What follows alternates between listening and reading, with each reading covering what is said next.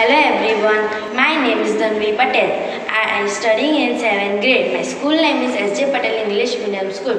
I made a project in science of working model of respiratory system. As soon as the air goes inside the lungs, the, the lungs blows up.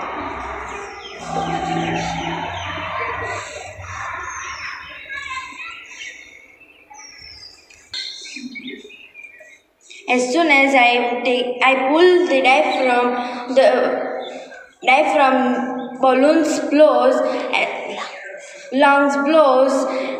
As soon as I pull inside, the lungs take its original form. Have a look. Thank you.